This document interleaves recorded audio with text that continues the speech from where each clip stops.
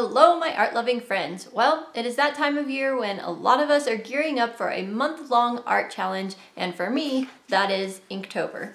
I have participated in Inktober for the last four years, and all of my previous Inktober videos are still applicable, so I will link the playlist for you in the corner, plus the actual prep videos down in the description box below because everything in them I think you could still get some really useful information out of. However, I just have a few small tips to add for you this year and I will try and be brief. So the first year I participated in Inktober, I made sure that I had a theme. And for me, that was very important that year. It kept me motivated and just made me excited to keep going on the next prompt. And because that was so successful for me, the following year, 2019, I also had a theme. So my first year's theme was the motorcycles, as you'll see in the video here, and the second year's theme was all old cars and trucks.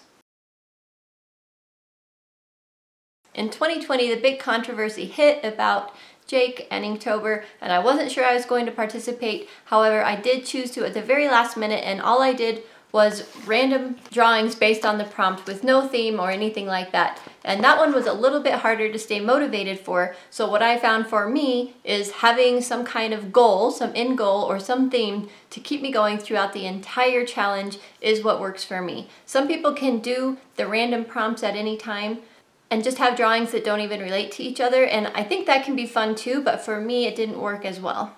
I struggled a little bit last year trying to come up with a theme but after some thought I did finally come up with my cat theme and that was really fun because then at the end I felt like I could make it into a coloring book and offer to you guys and we could have coloring challenges and stuff. I'm still working on that. It's a, an ongoing process, but I did just finish up the rest of the 19 pages in this sketchbook for a 10 hour sketchbook challenge, which I will link in the corner for you as well. So for 2022, I have come up with this idea where I'm going to do one huge drawing, huge, and I mean huge, probably 18 by 24 at the smallest. It might be 22 by 30, and it's going to be like one big house or one big castle because every single word in here I can picture in a house or a castle scene.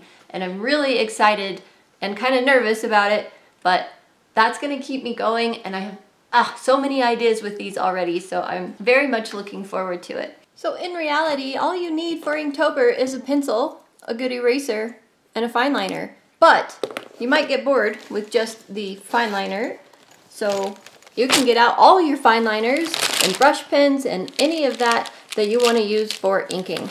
If you keep it simple, it's easier to keep doing it.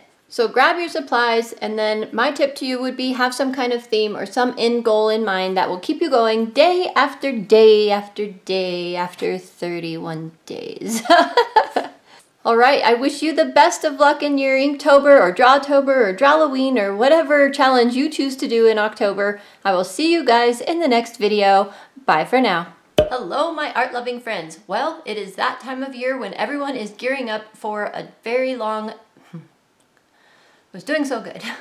I have participated in Inktober for the last four years and I have a few tips that are... Uh...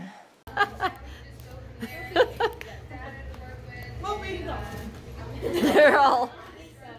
We want treats. What did you give them? Like frosting?